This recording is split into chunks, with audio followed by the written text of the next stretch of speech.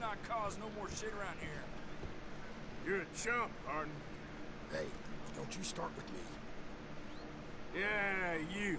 You know I'm talking to you. Just what's your problem? That's it! You had enough? You asked for this. You son of a bitch!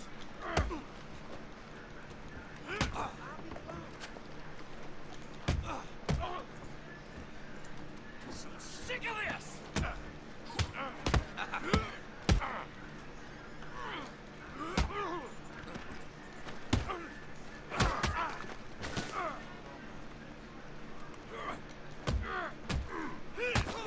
My time.